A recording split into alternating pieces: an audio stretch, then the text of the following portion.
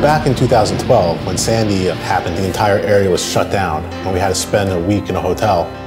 And um, there was a gas station across the street, and I saw people were lined up getting gas for their generators. And I was thinking to myself, that's nuts. Gotta get something like a little bit better, and just asking friends and folks that I work with, they said Kohler is the one to get. I have my wife and my three children, of which two are teenagers, and one's a, a two and a half year old.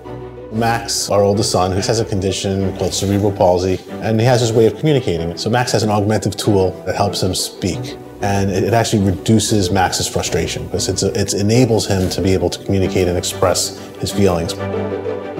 We had to make Max comfortable, and that gives us peace of mind having the Kohler generator. There's always going to be comfort in this house. Since it's been installed every year, at least two or three times a year, the lights go out, it flicks, and then you hear the, the, the generator just pops on, and the house is just as if nothing happened. It's the best.